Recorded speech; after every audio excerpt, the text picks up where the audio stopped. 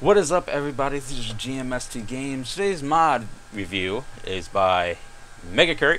He has yet another mod. It's pretty much just like Inkwell Home, but it's a Dwemer jar. It's it's all Drimmery. um, so I I do have both mods installed because they're great mods. I've I all his mods he's done. I don't know how many mods he actually done. I think this is second one, a third one maybe. Um, I've did a review for, and he's just one of those people that I'll always do a review for if he wants one. Um, he does great work.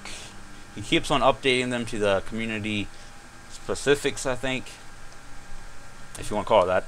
Alright, so now let's go to review. So, Dwemer Jar. The name is Dwemer, so it has to be Dwemer base. So, yes, it does have statues of Dwemer uh, enemies and people.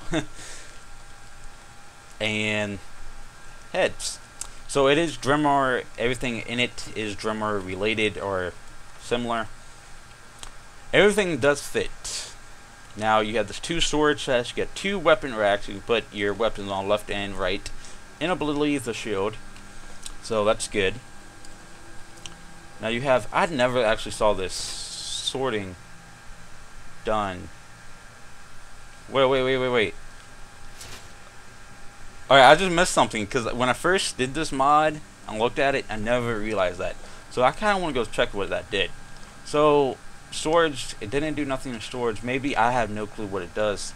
It just says sorting, crafting supplies. Okay. Now, the good plus about this mod and what he has on the Inkwell home is these light switches. These aren't really seen in any other home build that I know of. They might be and might not. This is what it's the lights off and with the lights on. And let's, let's go down downstairs, which is pretty much the work area. And once again, here's the light switch, lights off, and let's turn that back off, on. Alright, so bookcase, and you have the alchemy set up right over here with the enchanting supplies, and I believe that's mine. Yeah, this I, I believe it's it's mine. So the sorting does all of this, which is great because I actually never saw that. I've I've that's a plus. That's if that if those are my items, which I do think they are, not the map. I don't need the map. I need the items. Which where is it at? I kind of want to do say that is all my stuff that I had. Yeah, that's I believe it is. So yeah. So that is another plus. Right here is the workstation. You have the smelter, forge, workbench, and the grindstone. And you have a couple of chests with all the other items in it. Now I don't know if he's going to add any more chests to it. I would think that would be good.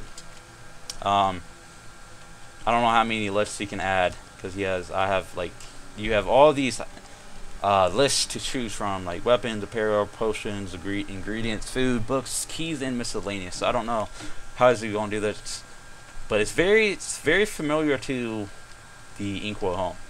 It's just very bigger, much more spacious, which is a good thing.